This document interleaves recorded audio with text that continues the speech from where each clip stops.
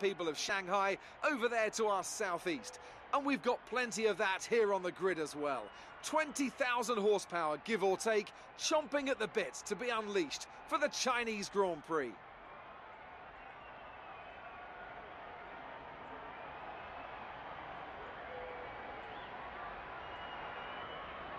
Joining me once again to take you through this race is the effervescent Anthony Davidson, and I'm very much looking forward to it getting underway. You raced here, of course, didn't you, back in your Super Aguri days in that infamous Chinese Grand Prix of 2007? Yeah, that's right. I didn't last that long, though, unfortunately. Uh, qualifying had gone pretty well, but my brakes failed quite early in the race, around lap 10 or 11, something like that. And of course, back in 2004, I was the very first Formula One driver to complete a lap of this circuit. Just thought I'd mention that for you, Crofty. Like a good stat. Uh, it's a fairly tough circuit on the brakes here, though. You know, it's that long back straight down into turn 14, and then you got turn 6 and 11. They're quite heavy as well. On top of that, managing your front tyre wear is always a challenge around here, so there's a lot to keep in mind during the Grand Prix. So before the off, let's remind ourselves of yesterday's qualifying session with a look at the starting grid. Kimi Raikkonen starts today from pole position, and Lewis Hamilton completes the front row. Looking down the rest of the grid, we have Ricciardo, Verstappen, Sebastian Vettel, and Hulkenberg, Bottas, Skip, Magnussen, and Romain Grosjean, Alonso, Ocon, Pierre Gasly, and Hartley. Vandoorne, Sainz, Sergio Perez, and Lance Stroll, Ericsson, and Sergei Sirotkin rounds off the grid. And with lights out just moments away, it's time to go down to the track.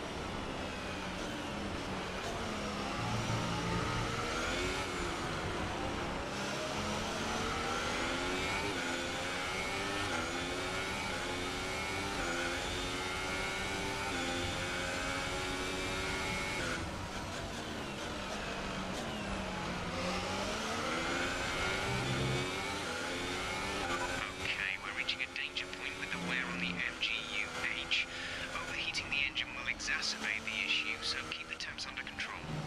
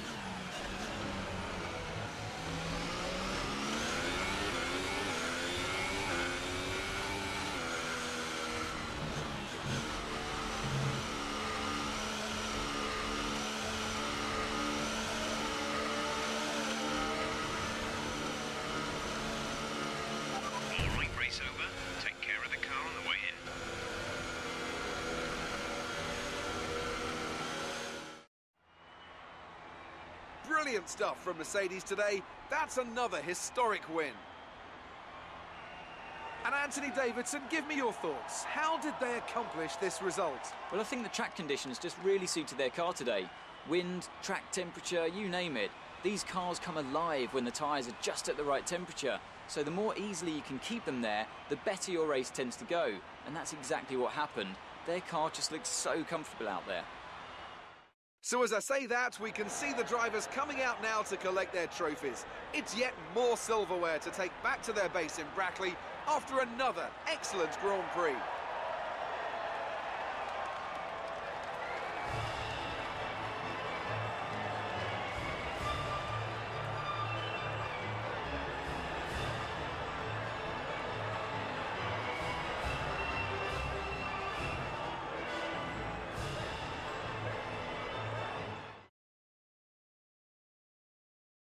So then, it's time to see how this result affects the Drivers' Championship. It wasn't the best weekend for our championship leader, and their advantage at the top has been reduced. Moving on to the driver of the day then. Anthony Davidson, who would you go for? Well, I think it has to be Fernando Alonso. He got the strategy spot on and consistently had the pace to come through as well.